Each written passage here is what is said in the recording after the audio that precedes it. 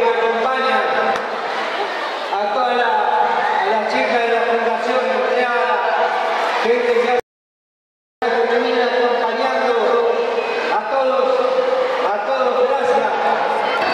Este es un trabajo de todo un equipo, de mucha gente, 1 años, caminando.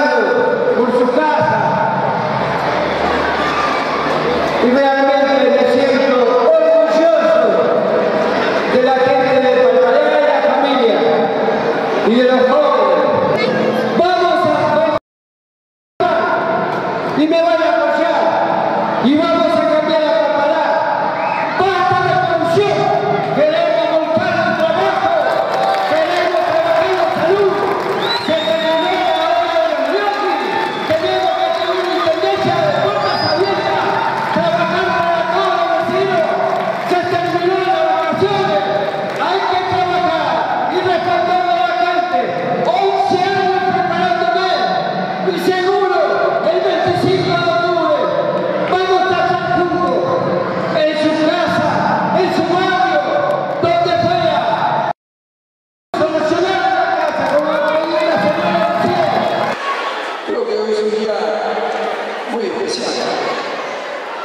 cuenta que es el.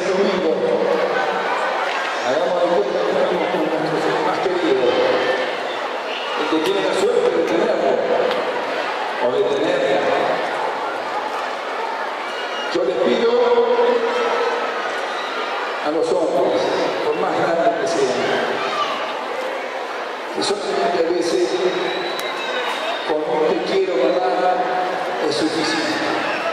No hay que tener vergüenza de decirle a su mamá que la quiere mucho. Por eso le digo, yo soy orgulloso de mi mamá. 85 años y todavía cuando nos encontramos tres, cuatro veces a la semana y todos los días la llamo por teléfono, me dice, me habla solamente de trabajo que tenemos que hacer esto, que tenemos que hacer aquello. Digo, mamá, tú ya tenés 85 años, estás, por- proyectando tu vida para 100, 200 años más lo dice, hijo de lo único que se hace es trabajar. Me siento orgulloso de tener una así. Me siento feliz y voy a seguir su mano. Le pido que le den el voto de confianza, el voto de fe, el voto de confianza y de trabajo, el voto, digamos, de la seguridad. Es un hombre que viene peleando, es cierto lo que dice. Le no te cansás. Parece que tiene doble vitamina.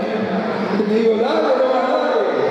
Así que, ¿qué les puedo decir yo de Alfredo? Denle la oportunidad.